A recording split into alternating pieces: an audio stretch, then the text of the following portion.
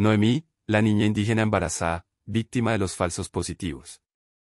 Yo quiero ver al que asesinó a mi hermana, lo estoy pidiendo a gritos.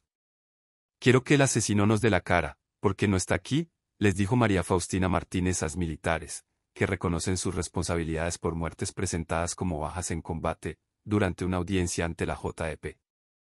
Noemi Pacheco era una niña indígena huigua de 13 años que fue víctima de los falsos positivos mientras estaba embarazada de dos meses de gestación. A Noemí le ubicaron junto a su cuerpo un revólver oxidado y un uniforme que le quedaba grande por varias tallas para simular que era perteneciente a un grupo armado. María Faustina Martínez, hermana de la víctima, habló ante los magistrados de la JEP y los comparecientes sobre la muerte de Noemí que como dolorosa coincidencia ocurrió cinco días después de que la Comisión Interamericana de Derechos Humanos solicitara medidas cautelares para proteger al pueblo Huigua. Con voz entrecortada, María Faustina relató que se enteró de la fatal noticia mientras caminaba por el corregimiento del Mojao, Cesar, en estribaciones de la Sierra Nevada de Santa Marta. Un hombre le contó que habían asesinado a su hermana junto a un muchacho cancuama. María Faustina corrió a contarle a su madre, aunque a ella el noticiero local ya se lo había anticipado. María Faustina pidió a la JEP esclarecer quién fue la persona que dio la orden del asesinato de la niña Noemí y quién la mató. También reclamó explicaciones del por qué fue ella la elegida para llevar a cabo tan espantosa ejecución.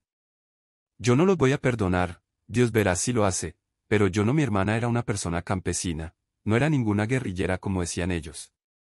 El caso de Noemí fue el primero por el que la JEP utilizó el enfoque de interseccionalidad para conectar el asesinato con la victimización a comunidades indígenas marginadas. El relator del subcaso Costa Caribe, Oscar Javier Parra, indicó que seguirán trabajando para seguir con el proceso restaurativo en el territorio del pueblo Huigua.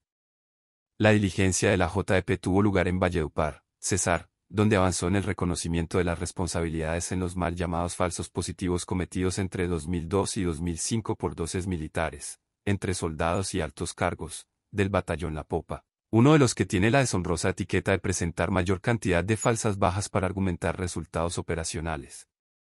Como parte del subcaso de falsos positivos en el Caribe, la jurisdicción especial tuvo en cuenta el impacto desproporcionado contra los pueblos indígenas Huigua y Cancuama, comunidades que lloran la muerte de 12 personas a manos del ejército, entre ellas las de Noemí Pacheco.